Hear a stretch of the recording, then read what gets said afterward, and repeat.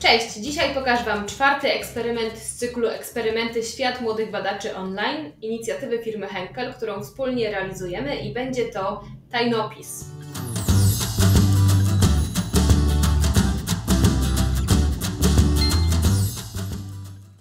Tajnopis to jest taki sposób zapisywania informacji, którego uczy się nawet szpiegów i polega na zapisywaniu informacji sokiem z winogron.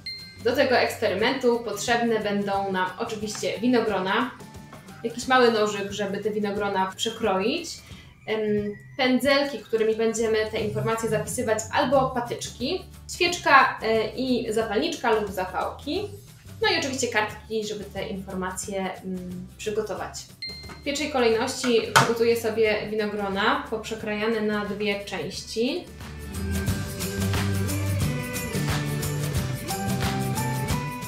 Myślę, że trzy wystarczą. I będę wyciskać sok y, z winogron prosto do tej zlewki. Zobaczymy jak mi pójdzie. Pestkami się nie przejmujcie, dlatego że one nie będą tu przeszkadzać.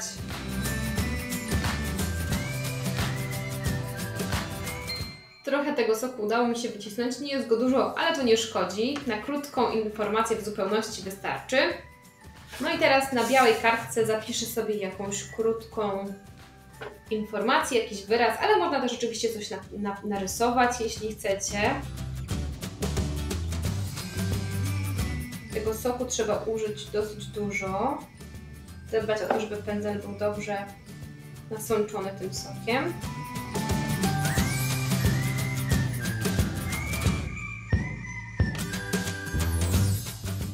Zapisałam tutaj wyraz sokiem z winogron i teraz potrzebuję trochę poczekać, aż ten napis wyschnie. Myślę, że to będzie trwało około 15 minut, może pół godziny. Kiedy napis wyschnie, to nie będzie go już widać. Może będzie widać tylko takie drobne pofalowanie papieru, ale nie da się tego napisu zbyt e, komfortowo odczytać. I tak zapisaną informację możecie na przykład komuś podarować, czyli napisać na przykład lubię Cię i dać komuś e, taką karteczkę i dać instrukcję, jak może sobie tę wiadomość odszyfrować, albo narysować coś, co lubicie, albo coś, co chcecie komuś przekazać, albo pokazać. No i teraz jak taką wiadomość można odczytać?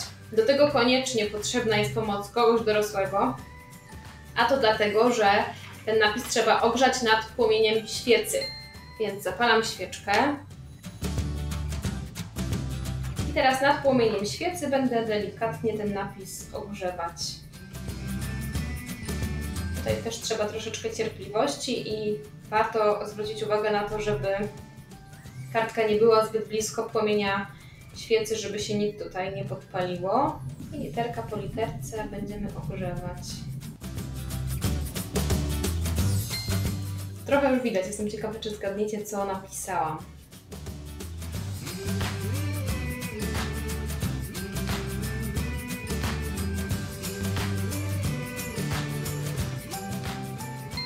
To jest moja informacja.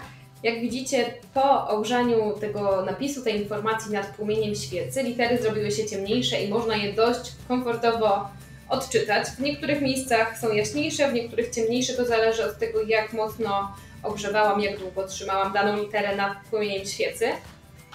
Więc jeśli chcecie, tak jak wspomniałam, można zrobić komuś niespodziankę albo przekazać jakiś sekret w ten sposób. I pewnie się zastanawiacie, e, jak to działa.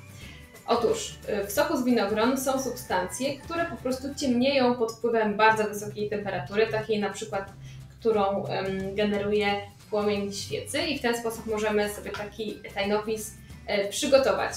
Jeśli chcecie, można też spróbować zamiast e, świecy użyć żelazka, czyli po prostu taką informację e, zapisaną za pomocą tego tajnopisu. Trzeba wyprasować, oczywiście też z pomocą kogoś dorosłego. E, podobne właściwości jak sok z winogron będzie miało mleko i sok z cytryny, więc możecie spróbować zrobić też inne wersje, czyli napisać informację sokiem z cytryny albo mlekiem i w ten sam sposób ogrzać nad świecą lub wyprasować. Bardzo dziękuję Wam za obejrzenie tego odcinka i już dziś zapraszam na kolejny eksperyment z cyklu Świat Młodych Badaczy Online, w którym dowiecie się jak zrobić eksperyment o nazwie Dziwny Słoik. Oprócz tego zachęcam Was też do wykonania dowolnego eksperymentu z broszury Świat Młodych Badaczy Badaj i eksperymentuj w domu, w której znajdziecie różne propozycje takich domowych eksperymentów. Tę broszurkę możecie sobie pobrać w linku, który y, zamieszczam poniżej w opisie. Bardzo Wam dziękuję raz jeszcze i pamiętajcie, żeby zawsze robić eksperymenty pod opieką kogoś dorosłego. Do zobaczenia!